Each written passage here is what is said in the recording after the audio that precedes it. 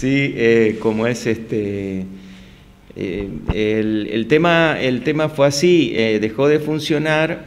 La estación esta es una, la EMA, la Estación Meteorológica Automática, la sigla, es un aparatito básico.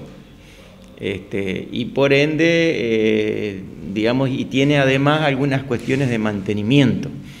El mantenimiento básicamente para, inclusive se ha dado, este, que no, no, entorpezca el sistema para el caso de medir este, el milimetraje de lluvia, no entorpezca la entrada, que es un pequeño, es un embudo que termina en, una, en un cilindrito de escaso medio centímetro, porque el sistema este, es a cangilones y, eh, y eso este, es sensible, de alguna manera si se entorpece, entorpece la entrada para el desvío un poco de la, de, del agua de lluvia. ¿no? Este, pero además de eso, digamos que hace a la variabilidad en la medición de, de los milímetros que caen, este, muchas veces eh, se introducen este, avispas. Uh -huh. y, y, la, y, dejó de funcionar casualmente porque se instaló un, un camachui, como le dicen. y he buscado, sí, camachui o camatí, algo así. Es el nombre común de, de, la avispa que es Polibia occidentalis, así ah, se llama. El nombre científico. El nombre científico. Está, eh, y esa se introduce, digamos, eh, donde agujero encuentra en determinada época del año. Y, y, básicamente es en el mes de abril.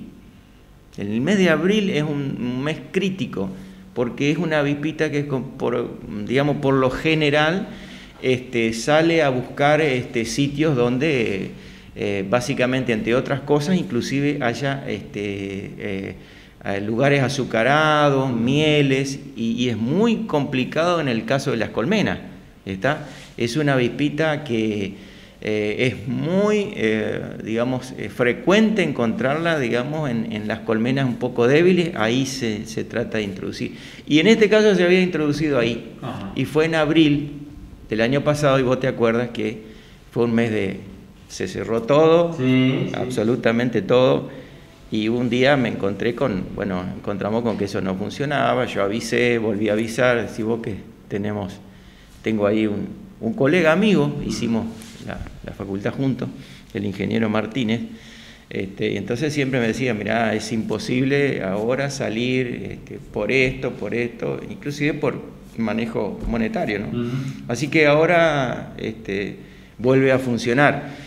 Este, volví a, insistimos un poco en el, te, el, tema y la semana pasada este, volvió a arrancar el, el, el cómo es la, la EMA. Uh -huh. Está, es, una, es sencilla, es básica, eh, pero bueno, este, para eh, los medios de comunicación, algunas instituciones, escuelas, este, eh, algún agrónomo que también busca alguna información, como lo he buscado yo, para, uh -huh. para para ver un poco la secuencia o cómo vamos con respecto a las horas de frío este, o los grados día en el caso de cultivos este, para las diversas etapas fenológicas, así hay en tanto maíz, soja, etc.